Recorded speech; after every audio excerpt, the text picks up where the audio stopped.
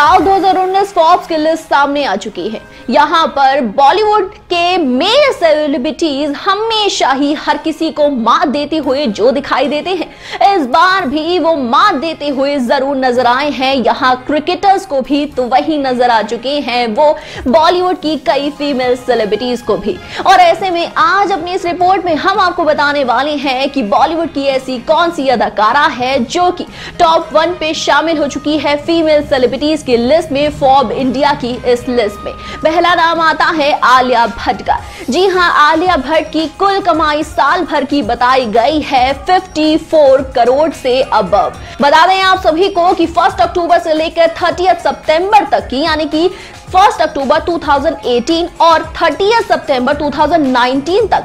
जितनी भी ये फ़िल्में सामने आई हैं सेलिब्रिटी की, उस नाते ही इन्हें लिस्ट में शामिल किया जाता है। कमाई और पॉपुलैरिटी के मामले में।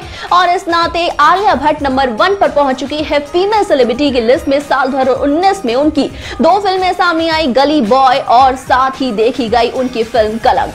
कलंक भले ही ना चल पाई हो, लेकिन गली बॉय को बहुत ज़्यादा पसंद किया गया और उनकी कमाई भी बहुत ज़्यादा बढ़ती हुई दिखाई दी। तो वही पॉपुलैरिटी के मामले में इतनी आगे बढ़ चुकी है अलिया भट्ट की बन चुकी है वो बॉलीवुड इंडस्ट्री की बेस्ट एक्ट्रेस और अब बात करते हैं बाकी सभी फीमेल सेलिब्रिटीज की जो इस लिस्ट में शामिल हुई है दूसरा नाम इस लिस्ट में आता है दीपिका पादुकोण का, जो बहुत ही जल्द छपाल फ़िल्म के साथ बॉलीवुड में कम करने जा रही हैं। साल 2019 में उनकी कोई भी फ़िल्म सामने नहीं आई, लेकिन इसके बावजूद भी उन्होंने दसवें स्थान को हासिल किया है दीपिका पादुकोण इस साल कोई भी फ़िल्म के साथ भले ही ना आ पाई हो सामने, लेकिन इसके बावजूद भी वो अपनी कामयाबी पॉपुलरिटी हासिल करने में हमेशा ही कामयाब रही है। बता दें आप सभी को कि पिछले साल दीपिका पादुकोण ने चौथा नंबर हासिल किया था। इनकी इनकम की अगर बात की जाए तो वो है 43 करोड़।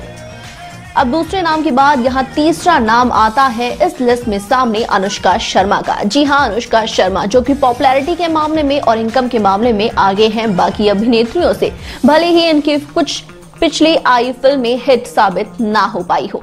ज़ीरो फ़िल्म इनकी पूरी तरीके से पिटती हुई दिखाई दी, लेकिन इसके बावजूद भी इनकी इनकम बन जाती है 28.67 करोड़। बता दें आप सभी को कि पिछले साल इनका स्थान था 21वां लेकिन इस बार ये सिक्सटीन नंबर के साथ आगे आ चुकी है। अब नाम आता है इस लिस्ट में कैटरीना कैफ का।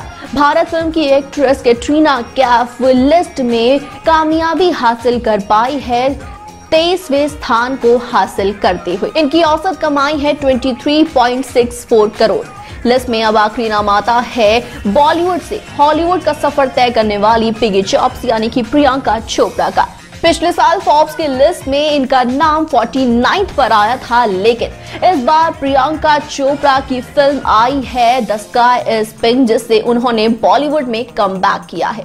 प्रियंका की कमाई इस साल बहुत ज़्यादा बढ़ती हुई देखी गई, जिसके कारण वो 49 से सीधा 14th नंबर पर पहुँच चुकी है। इस साल प्रियंका की एवरेज इनकम रही है 23.4 करोड़।